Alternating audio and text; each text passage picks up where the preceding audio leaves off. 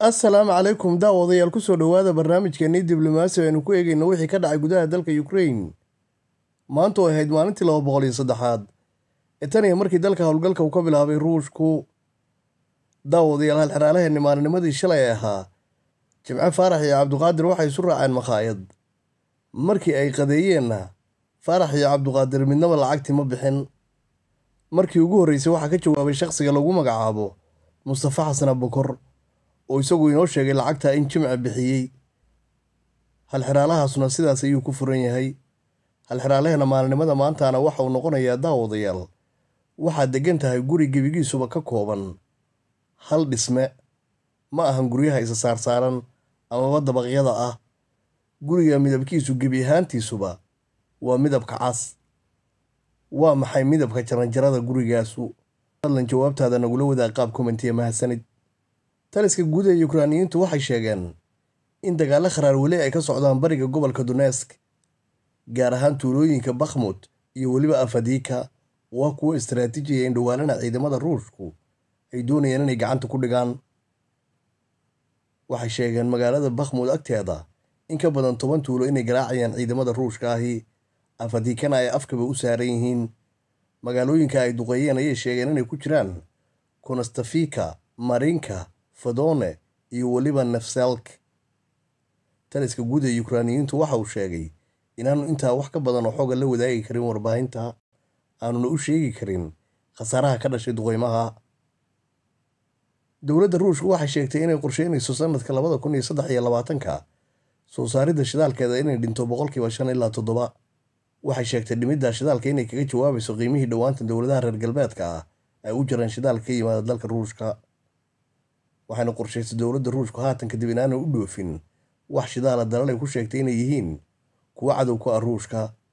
Ra'iisul wasaare ku-xigeenka dalka ruushka lagu magacaabo alexander novak ayaa telefishinka qaranka dalka ruushka sidaa u sheegay. Warbixintani waa tii ugu horreysay oo si rasmi ay dowladda ruushka u soo saarto. Wixii ka dambeeyey markay dowladaha reer galbeedku sheegeen inay lixdan doolar ku iibsanayaan fuusto walbo ka timaada dalka ruushka oo shidaal ah dhimitaanka shidaalkan ayaa la qiyaasay inuu noqon doono shan boqol oo kun ilaa toddoba boqol oo kun oo fuusto maalintiiba. Dowladda maraykanku weli waxay ku adkaysanaysaa shirkadda militariga ee ka barbar dagaalanta ciidamada ruushka ee lagu magacaabo wagner group inay gantaallo ka soo daadguraysay dalka waqooyiga kuuriya ayna keentay gudaha dalka ukrain kuwaasoo haatan ay isticmaalayaan ciidamada ruushka ahi. Balse shakhsiga ugu sarreeya shirkaddaas ahna mulkiilaheedu waxa uu sheegay in warkaasuu yahay mid aana waxba ka jirin sidoo kale wakaaladda wararka ee dalka waqooyiga kuuriya ayaa diiday arrintaa sheegtana dowladda maraykanka inay tahay. Tan habeen iyo maalinba hubka ku soo daldashaa dalka yukrain dhiigga dadka yukraaniyiintaana ku daadisa sida maclan la'aanta ah. Balse aanay dowladda waqooyiga kuuriya wax uba siin dalka ruushka aananay ka soo codsan ruushku dabadeedna dowladda koonfurta kuuriya oo isayaan waqooyiga ayaa sheegtay in dowladda waqooyiga kuuriya ay hubsiisay dalka ruushka taasuna ay ka hor imanayso gebi ahaanba qaraaradii qaramada midoobey golaheeda ammaanku ay qaateen. Waxay sheegtay dowladda koonfurta kuuriya waqooyiga kuuriya inay khatar ku tahay ammaanka gobolka iyo kan caalamkaba. Danjiraha dowladda ruushka u fadhiya magaalada washington ee dalka maraykanka waxa uu sheegay xilligan xiriirka u dhexeeya ruushka iyo maraykanku inuu marayo meeshiisii ugu xumayd maalinbata ka dambaysana ay wax weyn sii xumaan karayaan. Haddiiba xiriirkanu sidaasii ahaado waxa uu sheegay haddeer wax diblomaasiyadoo u dhexeeya labadaa dowladood inaanay jirin. Madaxweynaha yukraaniyiinta valadimir zelenski oo ka soo noqday safarkiisu waxa uu ugu bishaareeyey dadka reer yukrain inuu u sido wax weyn waxaana uu ku faraxsan yahay ogolaanta dowladda maraykanku ay u ogolaatay qaababka cirka lagu difaacay batriotiga wax yar dabadeedna madaxweynaha yukraaniyiintu waxa uu la hadlay qaaradda afrika waxaana uu ballan qaaday xiriir wanaagsan inuu qaaradda la samaysanayo waxa uu garowsaday intii uu xafiiska hayey inaanay dhex marin wax xiriira wanaagsan isaga iyo qaaradda. Waxa uu ballan qaaday bilowga sanadkan inuu furayo toban safaaradood oo horle uu ka furanayo dalal afrikaan ah. Sidoo kalena waxa uu ballan qaaday inuu kor u qaadayo ganacsiga uu qaaradda la wadaago. Dalalka afrikaanka ayaanay dowladda yukrain wax garababa ka helin maadaama aan afrikaanku aqoonba yukrain iyo waxay qabato. Walbo laga qaadayo qaramada midoobay iyo dhaleecayn walboo dowladda ruushka lagu dhaleecaynaya dagaalkeeda yukrain afrikaanku waxay noqdeen kuwo ka aamusa ama ma la jira dowladda ruushka.